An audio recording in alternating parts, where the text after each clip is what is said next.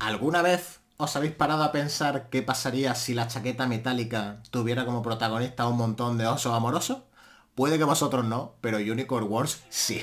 La nueva propuesta del realizador Alberto Vázquez llega a los cines para dejar sorprendido a quienes se adentren en esta locura animada que me atrevería a destacar como una de las películas más interesantes que nos deja el cine patrio en 2022, el cine hecho en España, e incluso me atrevería a decir que una de las películas más originales de la temporada que vamos a tener ocasión de, de ver en cine.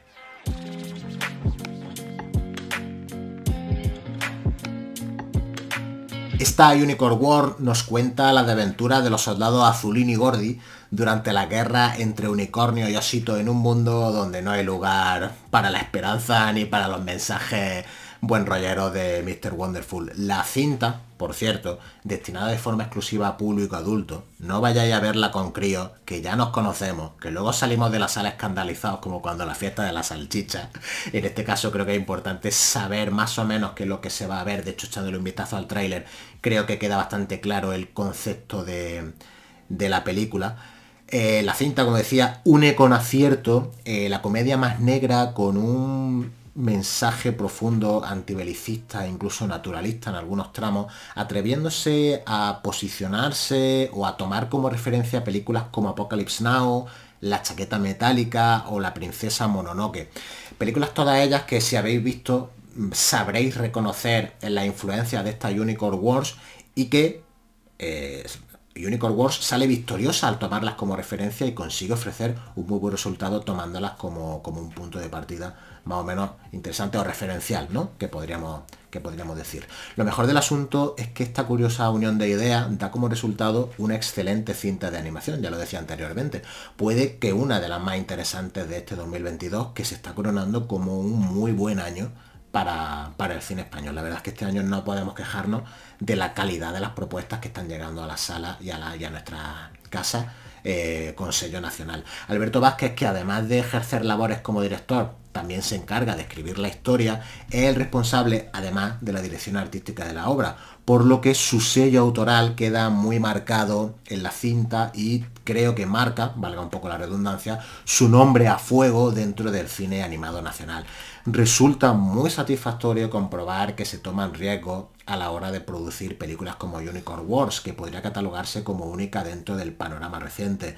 Y es que no cualquier productora se atrevería a hacer una película de estas características, o puede que ninguna distribuidora se animase a lanzar la película en cines, cosa que sí que sucede en este caso y que vamos a tener, vais a tener ocasión de ver en, en pantalla grande, lo que creo que resulta de lo más, de lo más interesante.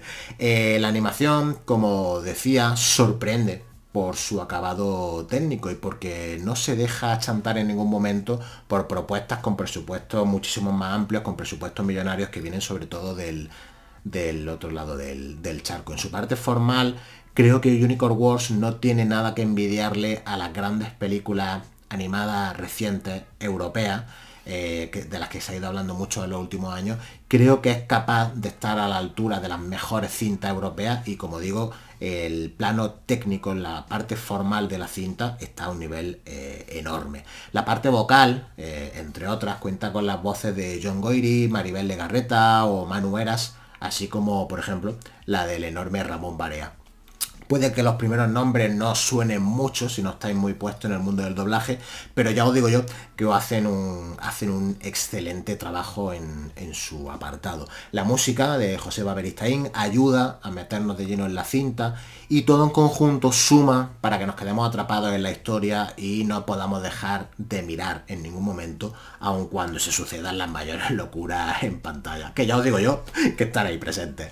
Pero dejando de lado cuestiones formales y Unicorn Wars podría definirse como un viaje de locura. Hay espacio para la psicodelia, para el gore más salvaje, la sátira más bestia y un sentido de la comedia tan oscuro que también creo que es de recibo destacar o señalar que la película no es para todo tipo de espectadores. A mí particularmente me ha encantado. He tenido ocasión de verla sin tener mucha idea de la película, más allá de, su tráiler, y he quedado muy sorprendido. Pero habrá personas a las que les cueste entrar en la idea que plantea el film, o como suele suceder en estos casos, que mucha gente la vea esperando una cosa y encontrándose con otra totalmente opuesta, ¿no? Algo que también está pasando mucho, mucho últimamente. Sea como fuere, creo que Unicorn Wars es de esas cintas que se ganan la categoría de culto casi de forma instantánea y que a buen seguro va a darle mucha alegría a Alberto Vázquez y a todo el equipo que ha hecho posible esta auténtica salvajada.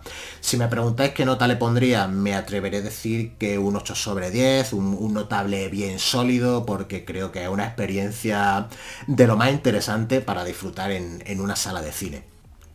Creo que no se ha visto nada similar eh, en la animación española reciente y me gusta pensar, como ya he dicho antes, que todavía se puede arriesgar en el cine actual, sea del género que sea, o utilice los medios artísticos que se consideren más adecuados para crear nuevas propuestas y apostar por la originalidad y por la novedad.